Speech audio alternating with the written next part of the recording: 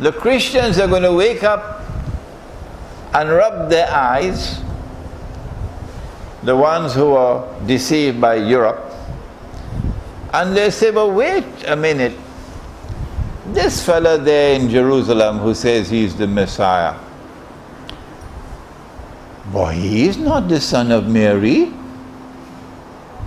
Huh? The Messiah who is to come back is the son of Mary. This fellow is not the son of Mary. This is not Jesus. It seems as though we were taken for a ride. Are we telling them that now if they're listening to the lecture? You've been taken for a ride. This is not the Messiah. This is Dajjal, the false Messiah. And this is not the end of history. The Jews are celebrating, but this is not the end of history. History will now end. When the true Messiah comes back, Nabi Muhammad alayhi salatu wasalam said that he will come down from the sky with his hand resting on the wings of two angels. Hmm? He's going to come down in a masjid in Damascus. And I had some problems with this hadith, I have to confess. I said, Why Damascus? He went up in Jerusalem. So why is he coming back in Damascus? You know how I like to ask questions. So I lived with this problem for some time until I realized, oh, wait a minute. The first time he came, Allah raised a man, Yahya alayhi salam, John the Baptist. And it was Yahya alayhi salam, John the Baptist, who pointed and said, Here he is. This is the man you've been waiting for. This is the Messiah. Positive identification. And so when he's to come back, he comes back again where John the Baptist is.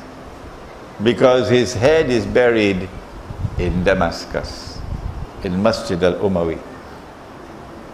So now I realize why he has to come back to Damascus or not to Jerusalem. When he comes back, he's going to kill Dajjal. And after he kills Dajjal, then Allah will send فَبَعَثَ اللَّهُ فَبَعَثَ اللَّهُ Allah will send. It does not say Allah will release. No. It does not say that Allah will release. No. It says that Allah will send Gog and Magog.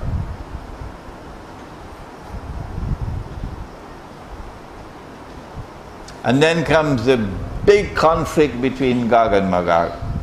وَتَرَكْنَا بَعْضَهُمْ يَوْمَئِذٍ يَمُوجُ فِي بَعْضٍ which includes Star Wars. We've killed those who are on earth, now let us kill those who are in the heavens above. And they'll shoot their arrows up in the sky. And Allah will cause the arrows to come back down. These arrows are, of course, missiles with blood on them.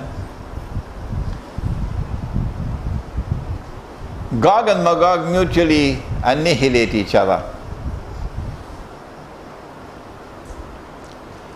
And then the power of modern Western civilization is broken. And Israel is now defenseless. I hope Israel is listening. Israel is now defenseless. It is then that the Muslim army will come out of Khorasan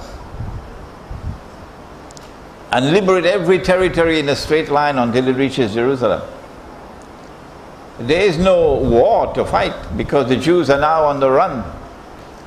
At this time, they're stamping their feet as oppressors and oppressing, oppressing innocent people unjustly, barbaric oppression. But at that time, they go be on the run. Because Nabi Muhammad والسلام, says history will end this way. Of course, Harun Yahya is lying. I don't know why Harun Yahya has to lie. Why does Harun Yahya have to lie? It's not a good thing to lie. Imran Hosein doesn't use this kind of language. No. There must be a very valid reason for him to speak like this publicly and use this violent language. Okay?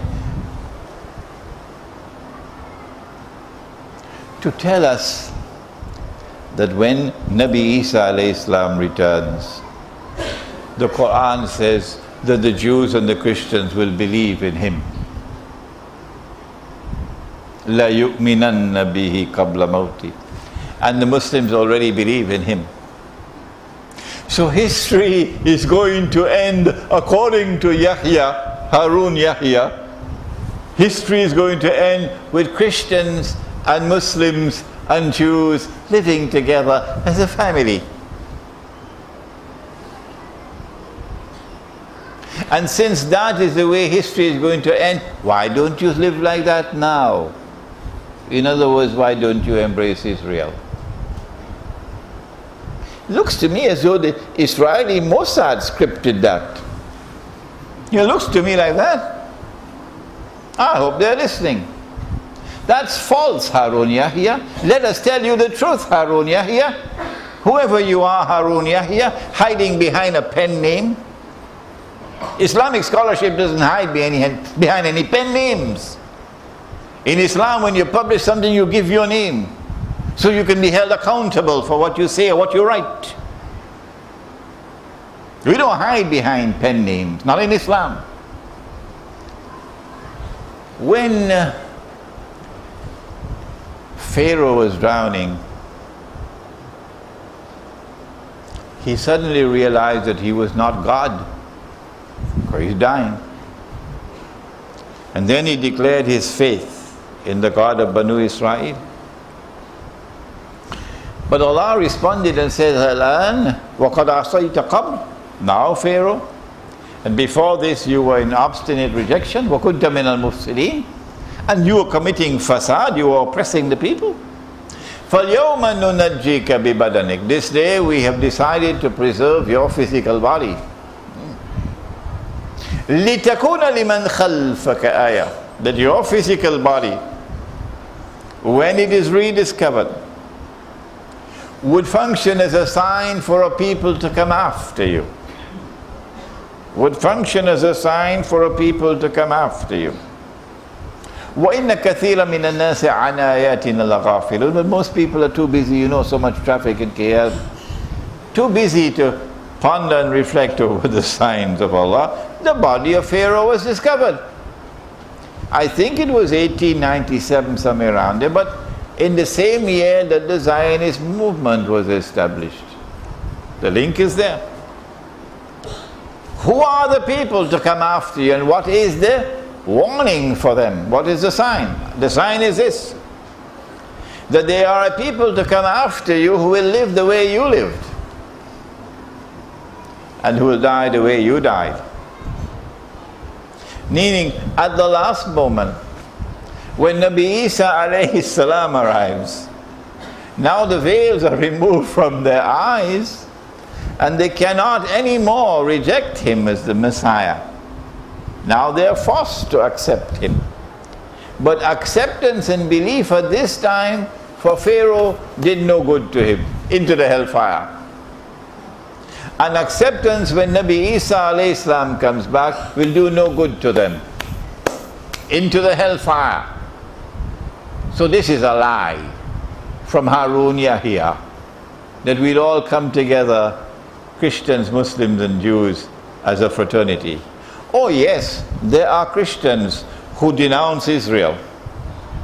And there are Jews who denounce Israel and its oppression. Those Christians and those Jews are our friends and allies. We have no conflict with them. They are not oppressors. But these are oppressors. Hmm? And Nabi Muhammad والسلام, told us how it will end. Not a Christian, Muslim, Jewish fraternity according to Harun Yahya. No.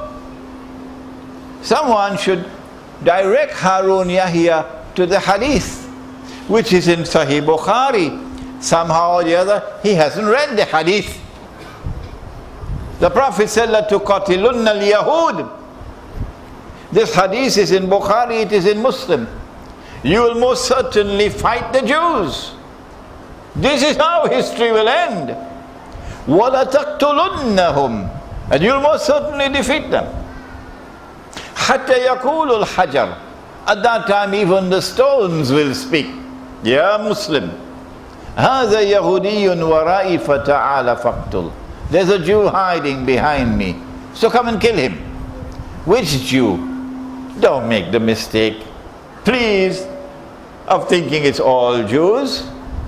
That's Disneyland thinking. No. Only those Jews who are oppressors. And that is what Israel is today an oppressor.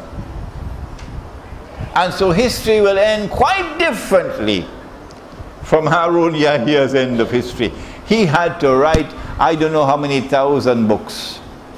And he had to produce, I don't know how many thousand documentaries in every single Islamic cable channel in the world in order to be able to, to, to infiltrate us with this falsehood.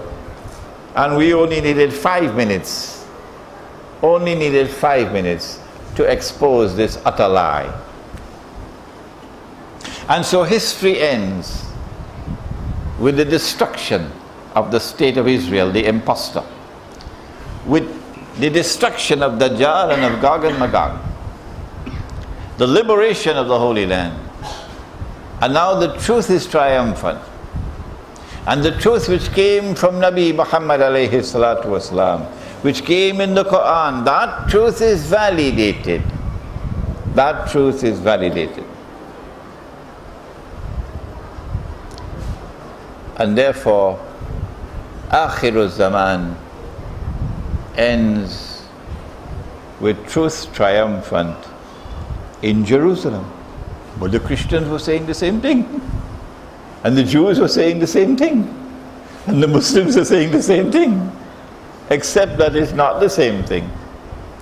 The truth which came in the Quran is the uncorrupted truth. And you have corrupted, you have corrupted the message which came in previous revelations. And so it is to the Quran that mankind must turn. Only the Quran can explain the end of history. We pray that our gathering here tonight will understand that we have a duty to the Quran, that we must not betray the Quran. Nabi Muhammad alayhi salatu wasalam complained, and the complaint is in the Quran. Do you know that?